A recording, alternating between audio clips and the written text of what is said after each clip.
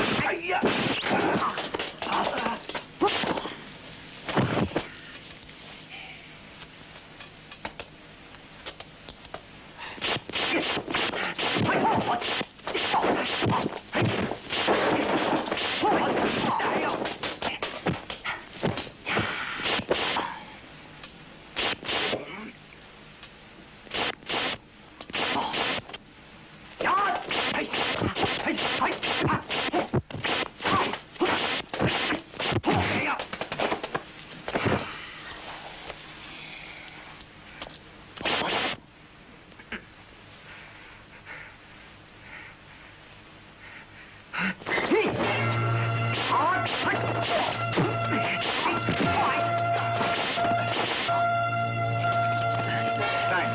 It's all right.